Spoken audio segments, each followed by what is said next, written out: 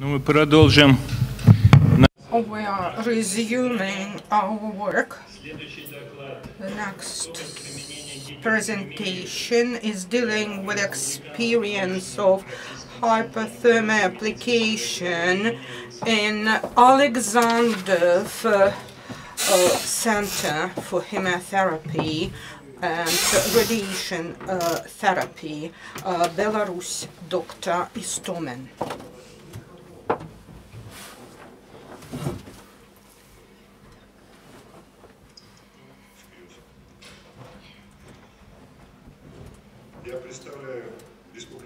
I represent uh, Scientific and Practical Center for Oncology and Medical Radiology, uh, uh, which is located in Belarus in the city of Minsk.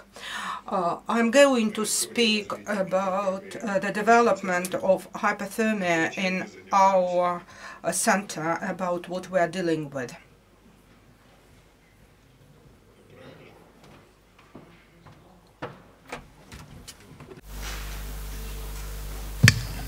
Помогите, а?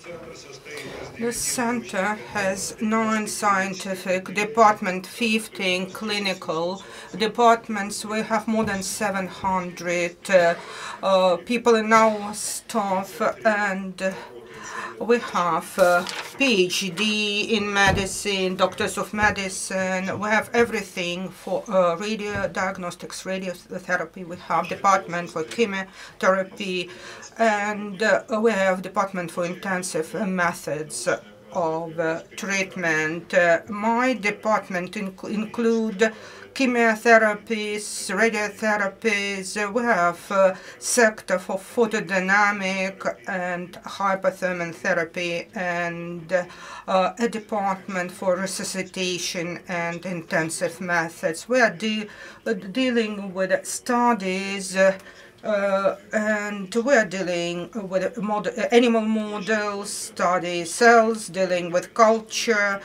and we have uh, uh, 832 wards, 12 wards uh, for resuscitation. We know uh, the problems associated uh, with the treatment of malignant tumors, metastases,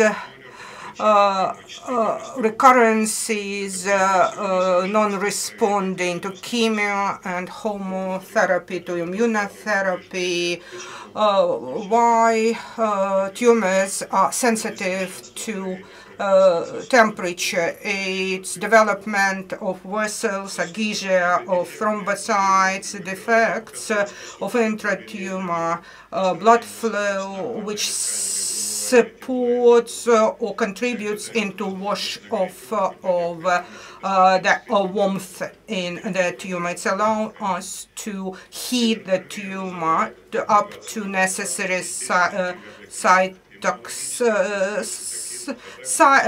toxic therapy, cytotoxic therapy, uh, without overheating normal tissues. Uh, hypothermia causes activation of macrophage killers. Uh, we know about uh, immunological action of cytokines, and we know about immunogenesis uh, and its enhancement through connection of HSP and dendrite cells. Denaturation of um, proteins, another target of studies uh, when it's uh, higher than 40 degrees, uh, which results in changes of molecular stru- structures of cytoskeleton membrane and results in destruction of enzymes which participate in synthesis in reparation of DNA. And when we create artificial situations, we can uh, deal with regulation and velocity of all, uh, all metabolic process, pH, for example. When we reduce it selectively, we have lactate that is building up, we inhibit uh, blood flow, and we get uh, uh, death of uh, tumor cells. Uh, potential therapeutic potential is based on acidosis, not enough perfusion, hypoxia, anoxia in the tumor.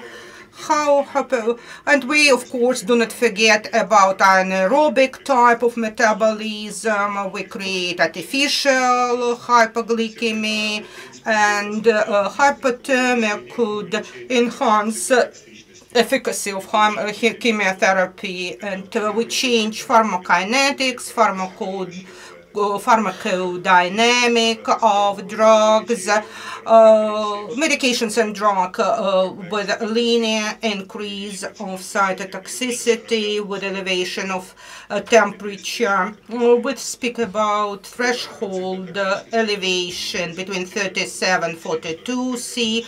Uh, we know about this uh, cytotoxicity here. We elevate uh, a little bit the situation, not higher than 42, 43, and we know uh, the anti-tumor action is going up. Then there are drugs uh, uh, when cytotoxicity do not change at 37, 45, uh, hypothermia with a mitomycin, C nitroso uh, elements, cisplatin, and so on. Indications for common hypothermia. Generalized uh, severe forms of tumors when traditional methods are not effective or they have no prospect.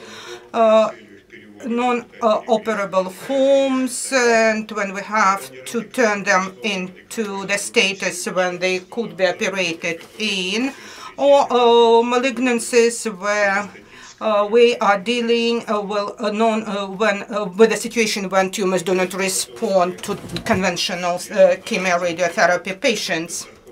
Sarcomas of the third, fourth stage of soft tissues, metastases, uh, recurrences, melanoma, uh, third, fourth, uh, recurrences, metastasis after previous treatments, bones, sarcoma, renal cell, uh, carcinomas uh, with a distant metastasis, non-resectable tumors of liver, breast cancer uh, with a distant metastasis, contraindications.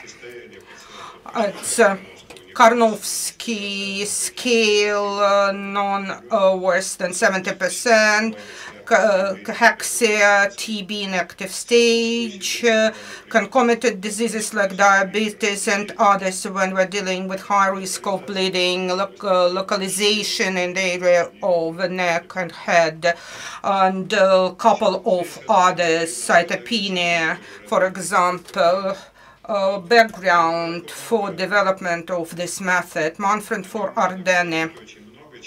Much could be told about him, but concept that he developed in the 60s is applied right now all over the world, in all countries. Uh, why am I impressed by uh, this personality? It's private laboratory.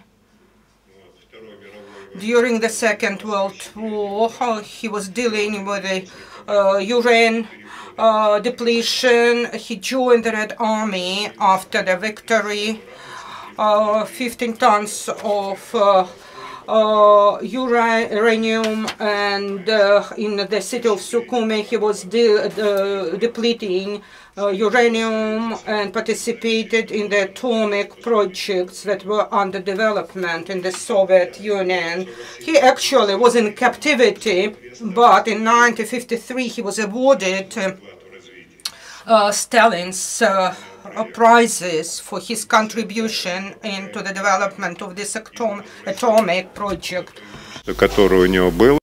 Then he returned to Germany, got back his property, and he opened a private institu uh, institution. He started dealing with biology, medicine, and he developed multi-stage cancer therapy. It included hyper hyper methods, immune methods chemical methods and so on. He opened private hospital and tried to treat patients. First results were not that impressive and uh, uh, he visited Soviet Union, our country, several times. He wrote a book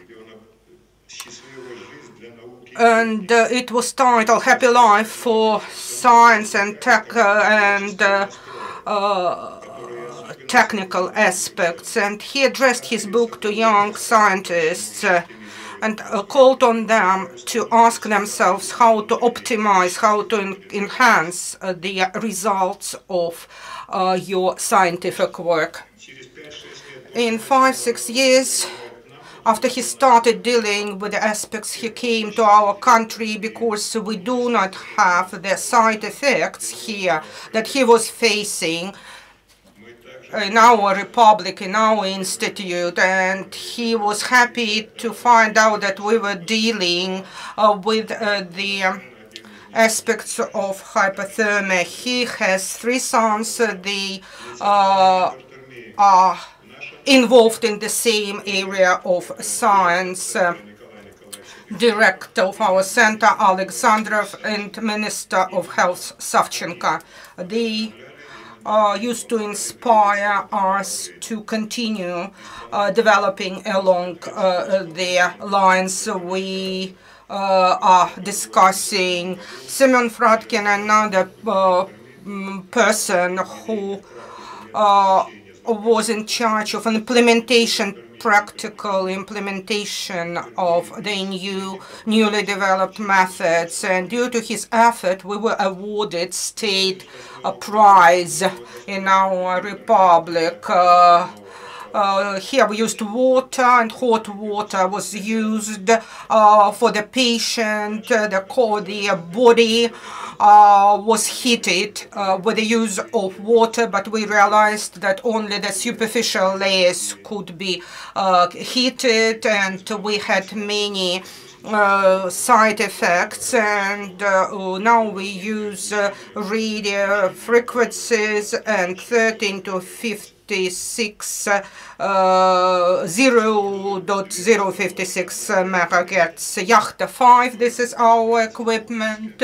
It's uh, used in ob it, it's uh, being developed uh, it's been produced in Obninsk and uh, Ptich our local uh, product. And this one Yachta 5 or Yacht 5 allowed to deal with a, general and local uh, heating right now uh, we have a new uh, equipment for general and local one. It's a, a generator, uh, elastic membrane, six channels for measuring temperature it's quite accurate and automatic control of the power of uh, the radiation and uh, everything is being controlled by a special safety system that is inbuilt into this uh, equipment.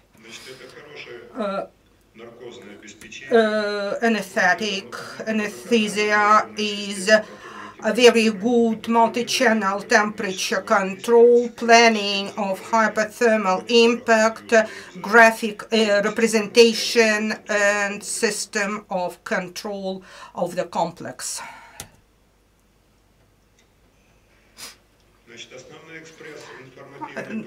Uh, main indications, they are here in the slide.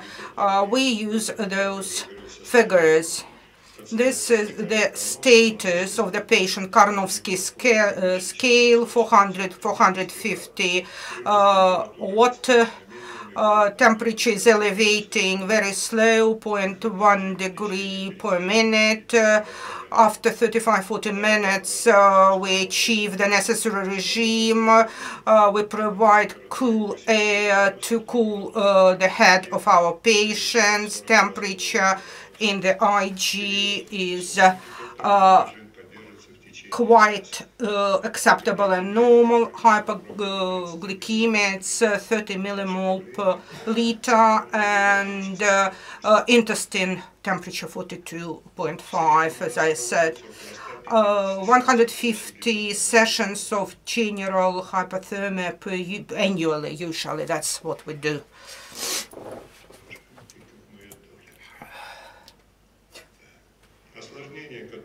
Complications. Uh, toxic uh, myelosuppression, uh, vomiting, sickness, uh, uh, nasal bleeding, uh, cardiovascular arrhythmi arrhythmic events, hypothermia, neurological one, trophic burns and durations of soft tissues and rates. Um, it's difficult to predict them. It could be more often in uh, women with obesity, uh, uh, devious syndrome, problems uh, with coagulation. Six patients uh, died and we provide 3,500 sessions. Uh, one or four died of respiratory syndrome and one died of impairment of brain uh, blood circulation, one died of acute liver uh, failure. Um, uh, we have uh, specific patients here in this table. Uh, it's uh, ca uh, cancer of kidney. Uh, it's a local and regional dissemination of the process. You can judge about the methods of treatment. There are those who had have operation pre-op uh, radiation, one group uh, operation and radiation afterwards, and those who had operation, uh, chemo, uh, radiation, and hyper hypothermal therapy. The figures are in the table. Regarding the frequency of distant metastases in such patients, we uh, classify them into those with local dissemination, uh, thromb in venous system, metastases in the regional lymph nodes, uh, those who had operation, then hyper, uh, hypoglycemia, hypothermal treatment, and radiations. They were comparable, all of them. Survival uh, with invasion of tumor into uh, the uh, liver and vena cava. Uh, hypothermal treatment, uh, hypoglycemia, uh, as a complex, statistically very inspiring survival, five years survival. Same data we get for patients with metastases in the regional lymph nodes.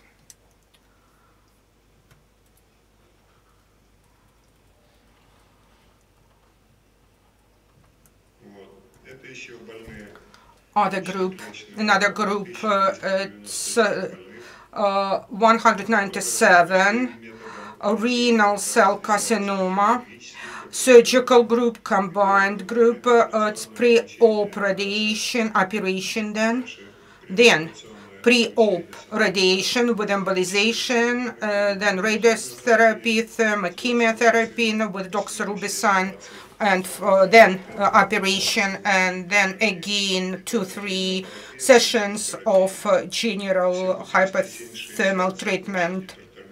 And you can judge about the number of general, uh, general quantity of sessions of hypothermal treatment that we used.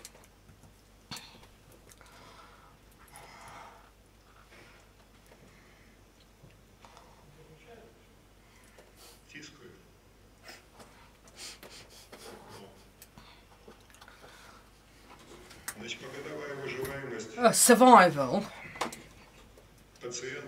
of patients with uh, sarcoma of soft tissues, low differentiation ones, uh, local situation, operation and then hyperthermal treatment with hyperglycemia and chemotherapy. Second group, local uh, hyperthermal approach without general one, operation and then just operation and with radiotherapy and chemotherapy the group in which operation was uh, uh, oh, followed with local, uh, it followed uh, uh, hypothermal treatment and then hypoglycemia. Here we have better results. It's obvious, a significant difference in uh, difference in, in comparison with other groups.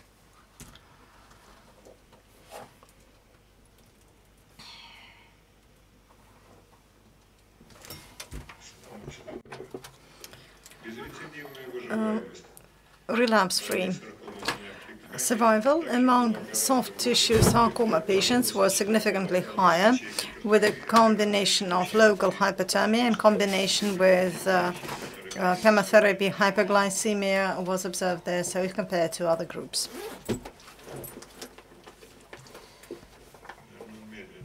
I suppose something is wrong with this remote control.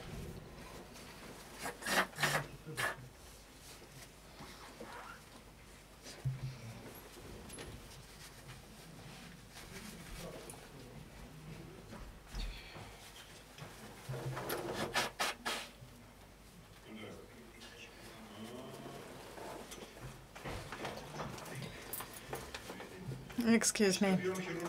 So the surgical volume in patients with soft tissue sarcoma shows that organ-sparing surgery and the percentage of it was much higher after the combined treatment of chemo and hypothermia or radio and hy- hypothermia. The extremity amputation was much smaller in percents. Survival among patients with peritoneal sarcomas, uh, uh, low differentiated, 39 patients who, after surgery and chemotherapy as well as radiotherapy, we conducted 122 sessions of hypothermia, one year survival among them, and two year survival is on the slide, and they had statistically significant difference. This is Ismail Zadeh data in children with soft tissue sarcoma, Ewing sarcoma, renal cell uh, cancer, osteogenic sarcoma, 71 patients from 6 to 16.5 years. Uh, general hyperthermia was used as adjuvant to standard uh, therapy, full and partial regression in 15 patients, which accounts for 75%, and five-year survival accounts for 54%. In 37 General hypothermia was used as salvage therapy. There were not uh, responders to standard treatment or relapses, and five-year survival accounts for 15% in this group. Apart from having the, uh, the machine for general hypothermia, we also purchased hypothermic system Celsius TCS. At the moment, it is under approval and it's for regional hypothermia with a length of wave the same uh, with a frequency of 13.56 megahertz. And it allows us to work up to the world standards which also means that we are ready to take part in international projects international protocols some contacts conferences and so on in this direction From the previous talks, most probably you have heard how important it is to uh, have the quality control of appropriate temperature, appropriate imaging quality. From Van der Zee um, uh, talk, I also heard uh, the, about the technical process, which also facilitates the efficacy of hypothermia. Nonetheless, when I see in YouTube this particular picture or even video, I'm shocked because the patients from that centers come to us, come to our clinic. Can we have this video on? This is not hypothermia. This is something, this is a research and development institute, they call themselves of hypothermia. Just look at it. There is no sound, oh.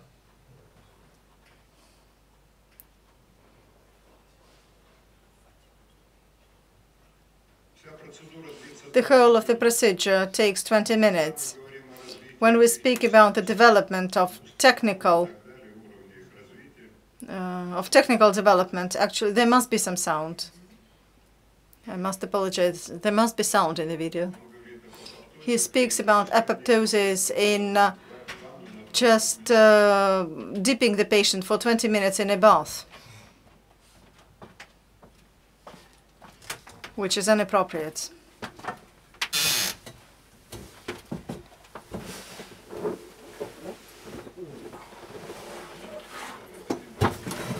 This is the water temperature. And this is chemo uh, agent, uh, ch- chemotherapeutic agent introduction, if, if I'm not mistaken.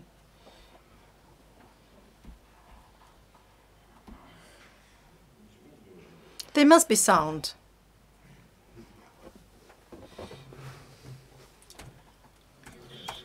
No, okay, that, then let's finish it. And my final slide, if it is possible.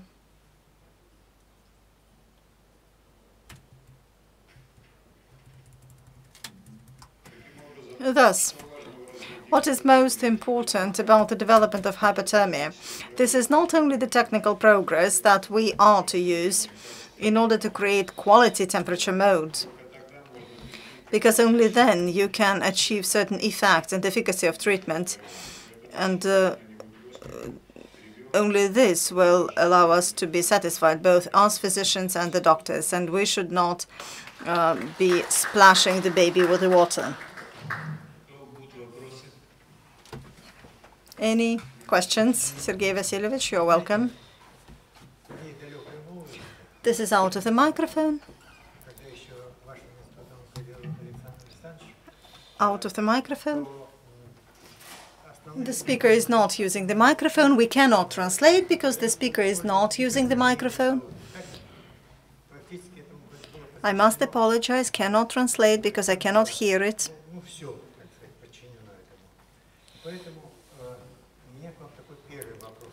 Um, that is why I have the first question to you.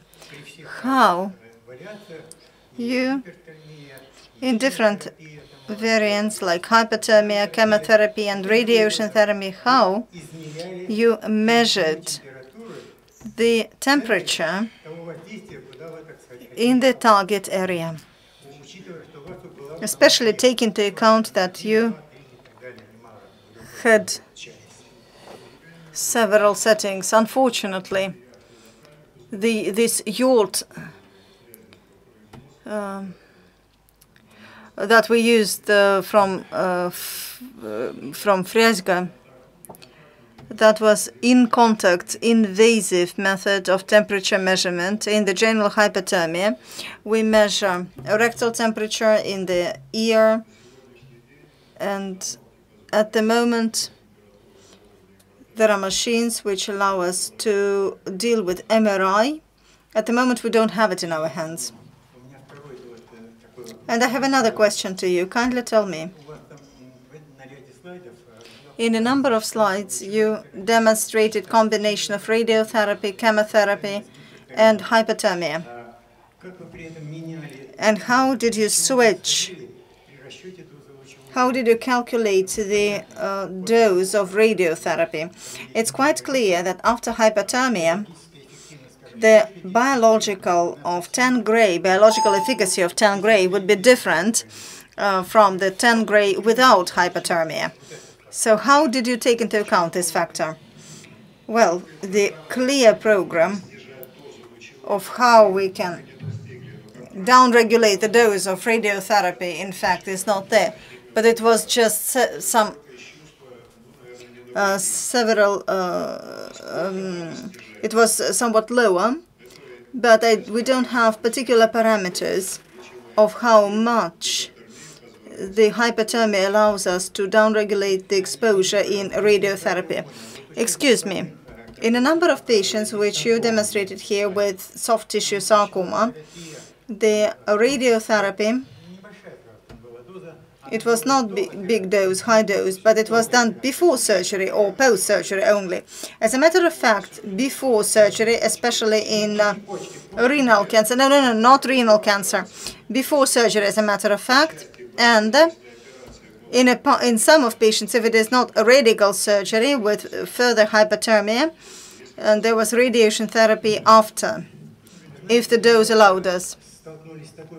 You know, we've come across the following situation. If um, there is even a small dose, both we and Americans uh, made a number of publications about it, that if you do a radiotherapy before surgery in soft tissue sarcoma, I'm not talking about the renal tumors at the moment, there could be very severe complications as a result. In a regular dose even, of some 40 gray, for instance, without any hyperthermia, of course, the complication rate amounted to 35%. This is very high. And uh, there were even such complications when we needed to, um, uh, which um, resulted in uh, extremity amputation. So, did you take this into account when calculating the dose in order to avoid unforeseen uh, results? Yes, from our experience of soft uh, tissue sarcoma treatment, it uh, first of all depended on the machine, on the depth of uh, thermal application, and if it was local hyperthermia, then it was uh, 460 megahertz with a depth of about 4 degrees. And if the patient came with a sarcoma uh, exceeding this depth, then we just we uh, came across other problems. So we just individualized our approaches to each of the patients depending on its individual response to treatment. If uh, there were no complications, then the radiotherapy uh, was done to its full. Thank you very much. Any other questions? Yes, you're welcome.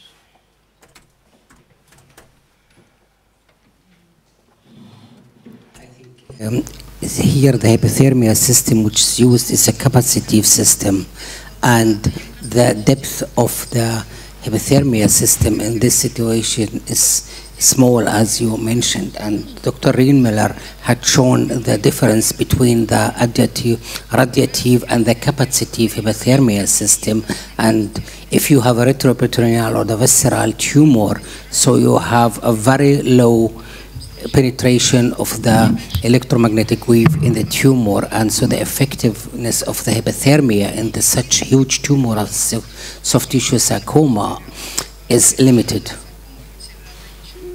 Rainer, help me please с переводом. В отношении сарком что?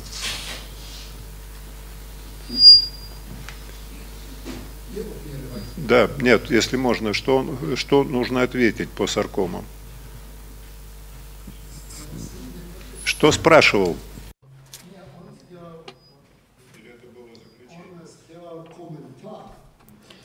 Uh, he just made a comment that uh, there is a little bit uh, of skepticism because you work with a capacitive system and he is a physicist by his background. And as a physicist, he is quite skeptical about achieving uh, such temperature inside the tumor, uh, suboptimal from his viewpoint.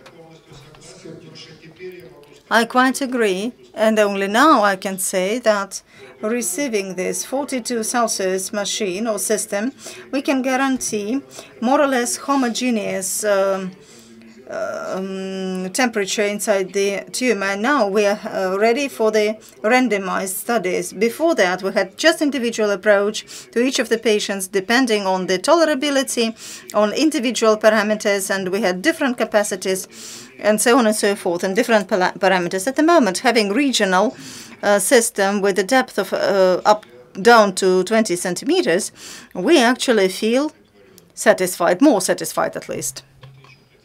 Any other comments?